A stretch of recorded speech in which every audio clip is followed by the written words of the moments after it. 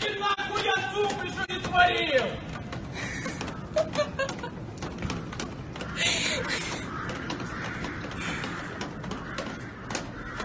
Черт!